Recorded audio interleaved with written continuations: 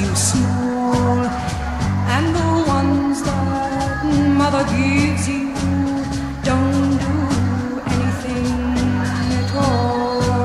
Go ask alice when she's ten feet tall. And if you go chasing rabbits and